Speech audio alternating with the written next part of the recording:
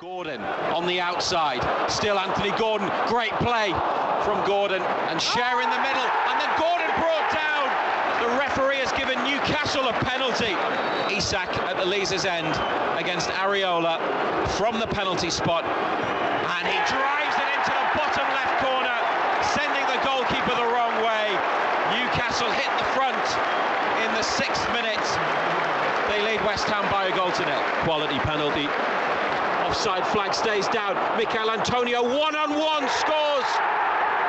And there's an equaliser as Antonio was played in by a ball dinked over the top. He's uh, taken too many steps forwards. His throw towards Kudus. West Ham have played the free kick into the box. Bowen away from Livramento and back to Kudus who scores. And Newcastle are going mad at the referee. Uh, Kudus might have run the ball out of play, but he's passed it forwards and play goes on. Jarrod Bowen into the area scores.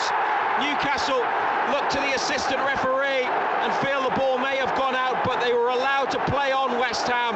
And Kudus returns the favour to Bowen. It's come to Barnes. It's saved by the keeper at the near side.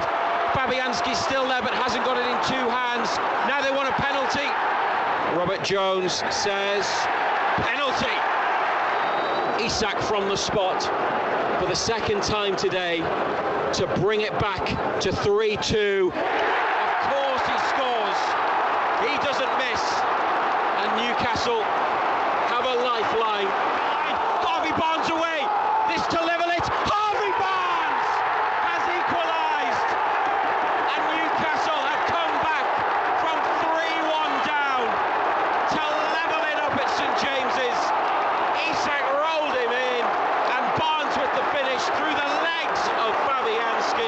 Gordon gets to the ball first, back to goal, left corner of the area, spins away and turns again. This is Barnes, beats his man, Harvey Barnes! Oh, yes! Harvey Barnes! What about that? It's absolutely